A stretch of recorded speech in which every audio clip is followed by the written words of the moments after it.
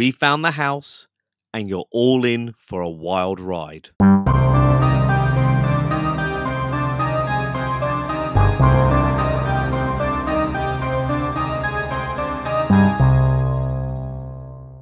Hey everybody. So, as some of you know, last week I uploaded a video reacting to Mindseed TV. They visited a haunted plantation, and my reaction was all in good humour, just a typical roast like most of my other videos. But then I received some information that changed everything. This is going to blow your mind, but first, let's do a quick recap for everyone who didn't see the other video. Mindseed filmed a ghost hunt in what they call a haunted plantation in New Orleans, Louisiana. They did a live stream before entering the house, and this live stream was uploaded on the 22nd of April 2023. Hey, we got one in the chat with us. What's, What's up, going on? Who, who, who's in here? How do we see this chat here? We just pulled up to a location outside of New Orleans where we're going to be for the evening. And we're sitting outside this place. We're in uh, New Orleans, and uh, this place looks pretty fucked up. This is where we're at. Here, hit the win- window wipers one time. This is what we're about to be uh, spending the night in right here.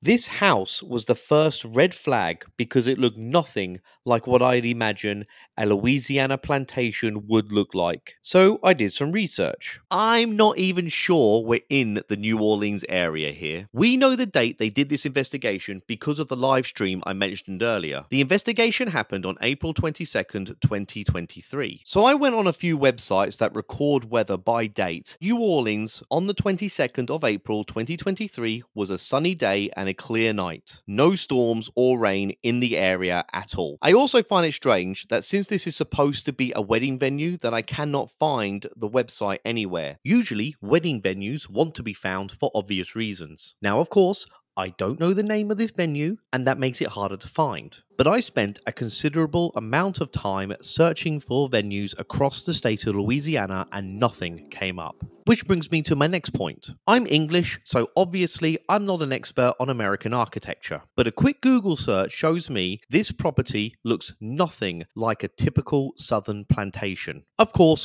all of this is speculation, but it does make me wonder why Mindseed is so vague about this property, its location, and its history.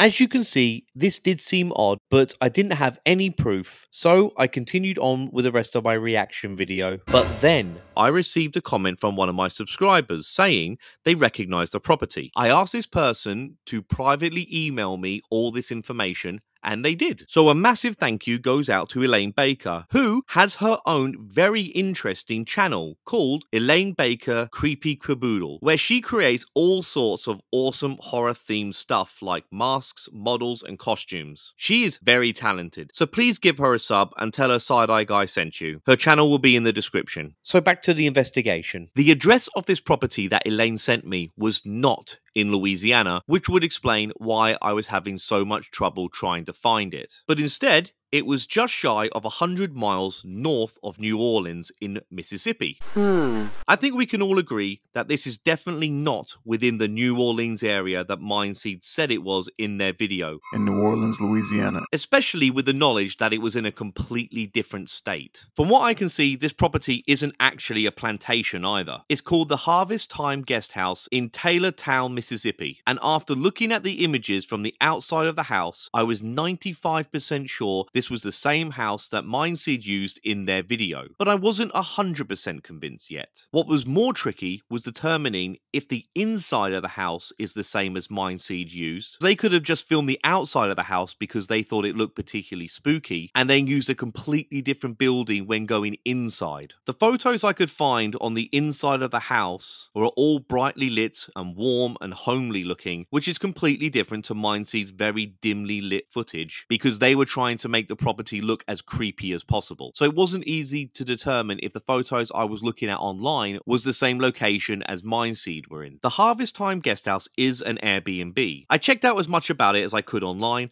and found the Facebook page for this property. I've reacted to many ghost hunting videos now where the properties claim to be haunted and the property owners dive headfirst into this being their marketing strategy. But the Harvest Time Guest House wasn't like this at all. Just look at their Facebook page. The angle to get people to stay in this property is that it is a peaceful and tranquil place to stay. I also read all the reviews of the property, all of which were very positive, by the way, and absolutely nobody has claimed to see any ghosts or anything supernatural whatsoever. So, what are Mindseed talking about? Because let's not forget, in their video, they claimed to have seen so much supernatural activity. There were bumps, there were whispers, there were chairs being knocked over, there were phone calls from what I assume were supposed to be ghosts. That still doesn't make any sense to me. The electric keyboard went off by itself, and the icing on the cake, there was even a shadow which was heavily insinuated to be that of a ghost. But I can't find anyone else to back up Mindseed's claims that this place is haunted, which may not surprise some of my more regular viewers. I had a lot of questions, so I thought to myself, the only way to get some real answers is to talk to the property owner directly and explain the situation. I found her number, so I figured, why not? Let's have a chat.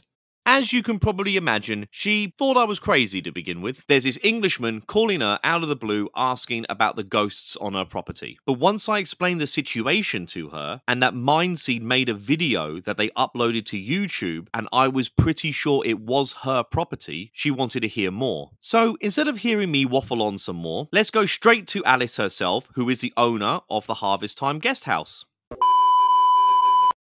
Uh, just mind start off by introducing yourself, please. Alice Richmond, What was the property you own, sorry? Harvest Time Guest House, located at Mississippi. Thank you very much. So, when I called you about three days or four days ago now, uh, a lot has happened since then, hasn't it? First off, Alice, can you please confirm that the inside and the outside of the house is the same house that Mindseed used in their video? Yes, it is. Was this house ever a plantation?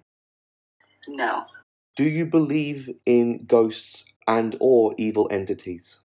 I believe in Satan, who is the devil. There are evil spirits that descended when he was thrown out of the heavenly realm. He took a third of the heavenly host with him. But as far as a haunted house, I don't deal with that. That leads on to my next big question. Do you believe your house is haunted? Of course not. How do you feel that Mindseed used your house without your knowledge as a haunted house? I feel violated. I feel deceived. I feel ran over as if what I have doesn't matter. That you can do anything whenever you want to because you know how to do it secretly without anyone notice. There was no permission given at all, nor will there ever be permission given for such a thing as that. No way. Would you mind just quickly going over what your next step is in handling this whole situation? Number one, filing a police report with the local entity here because it did happen in Walthall County. And from there, I I will seek legal action against the company and the persons who were involved. Why is it that you will be seeking legal action against them? Only thing I know is a thief, which is what he is. A thief can gain entry in any property. This house was built in 1904, so uh, the original doors are still there, which is that front door. It's not a up to date lock system, so yeah, I think it right now is worth saying that if there's any would be opportunists or thieves that are listening into this video, Alice will be updating her security system, so don't even think about it and go get a job. correctly. And I would just like to say that there are, there will be repercussions from this incident. It, it may have been a joke at first, but it's not a joke to me, and it never will be. That house has been set apart to be used by God for healing as a house of love. There is no way that it can be a satanic dwelling when there is healings going on, when there is peace and love going on.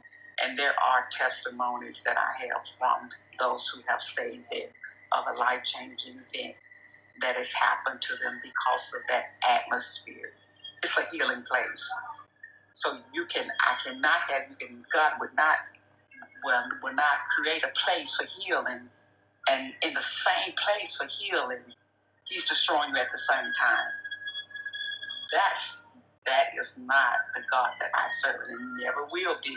And if anyone reads their Bible, they know that. Okay. Well, thank you very much for that, Alice. Uh, I really appreciate you taking the time to talk to me and to uh, go on the record for this video. Oh, all right then. I look forward to discussing this further. Yes, we we, we all look forward to hearing uh, how this ends up and uh, you, you, you keeping us updated on this uh, this case. I will. And thank you, sir.